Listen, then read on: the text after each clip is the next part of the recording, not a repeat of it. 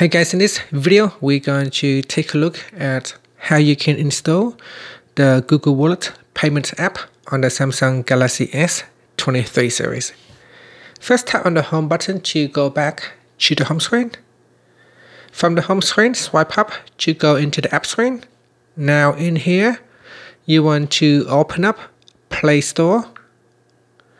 In the Play Store, I'm going to go back to the home uh, screen and I'm going to the home page sorry and I'm going to search for Google Wallet. So you type in Google Wallet in the search box right here at the top. So here we've got Google Wallet. And then you tap on install. So tap on the install button. Just wait for a few minutes or seconds and this will allow you to install Google Wallet. After that you can tap on the open button and this will allow you to select a Google account you need to choose an account so that you can set up your Google payment. So from here, you can then follow the on-screen instruction to um, install the wallet. So here it says add wallet, add to wallet.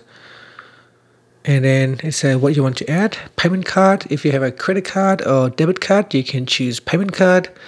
If you've got a loyalty card, a transit card, or gift card, you can uh, uh, simply add it to your uh, wallet. And here, if you choose payment card, you can proceed to add in your debit card or credit card.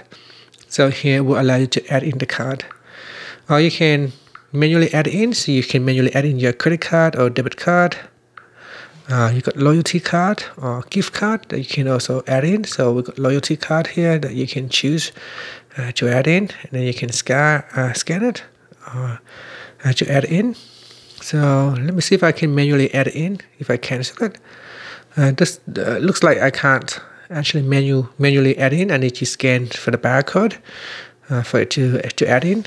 But that is how you can install it on your device. Once you have installed it, you can go through and choose what you want to add in. And that's it. Uh, once it is installed, you can access the wallet from your app screen and just tap on wallet. That will always allow you to uh, access your payment card. And that's it. Thank you for watching this uh, video. Please subscribe to my channel for more videos.